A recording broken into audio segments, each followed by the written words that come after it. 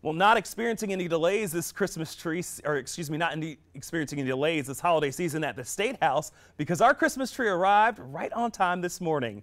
Today, the holiday staple was dropped off, and over the next two weeks, workers will trim and decorate the tree for the next two weeks, just in time for the Carolighting. Now, First Lady Peggy McMaster says they are happy to be back and believes this will inspire hope around the community.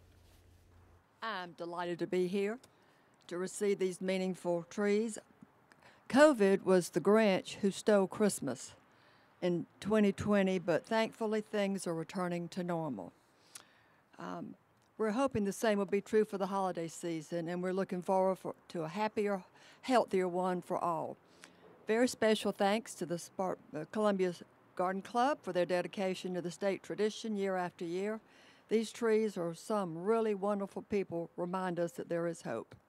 Henry and I hope you'll join us for the annual Carolighting Sunday, the 21st of November at 6 p.m. right here on the north lawn of the State House. If you can't be there, it will be on TV just like. well, many perceive the arrival of the state Christmas tree as the beginning of the holiday season here in the Palmetto State.